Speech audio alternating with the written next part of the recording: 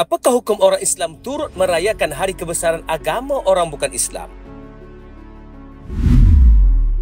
Di dalam kompilasi pandangan hukum Muzakarah Jawatan Kuasa Fatwa Majlis Kebangsaan bagi Hal Ehwal Ugama Islam Malaysia halaman 13 hingga 14 ada menyebut Muzakarah Jawatan Kuasa Fatwa Majlis Kebangsaan bagi Hal Ehwal Ugama Islam Malaysia kali ke-64 yang bersidang pada 12 April 2005 telah membincangkan garis panduan orang Islam turut merayakan Hari Kebesaran Agama Orang Bukan Islam. Muzakarah telah memutuskan beberapa perkara antaranya majlis tersebut tidak disertakan dengan perbuatan yang bertentangan dengan dengan syarak. Bertentang dengan akidah Islam ialah satu perkara perbuatan, perkataan atau keadaan yang jika dilakukan menyebabkan tercemarnya akidah umat Islam. Contohnya, menyertakan simbol-simbol agama seperti salib, memasang lampu, lilin, pokok krisma dan sebagainya, menyanyikan lagu-lagu bercirikan agama, meletakkan apa-apa tanda bercirikan agama pada dahi atau tanda-tanda lain pada anggota tubuh, memberikan ucapan atau isyarat yang berbentuk pujian kepada agama orang bukan Islam, tunduk atau melakukan perbuatan seolah-olah menghormati upacara agama orang bukan bukan Islam. Maksud pertentangan dengan syarak ialah suatu perkara perbuatan perkataan atau keadaan yang jika dilakukan akan bertentangan dengan ajaran Islam yang diamalkan oleh masyarakat Islam. Contohnya, memakai pakaian berwarna merah seperti Santa Claus atau pakaian lain yang melambangkan agama. Menghidangkan minuman atau makanan yang memabukkan dan seumpamanya mengadakan bunyi-bunyian atau hiasan seperti loceng gereja, pokok Christmas, kuil atau memecah kelapa. Mengadakan acara yang berunsur perjudian, penyembahan, pemujaan, kurafat dan sebagainya. Seluruh Al-Afkar 110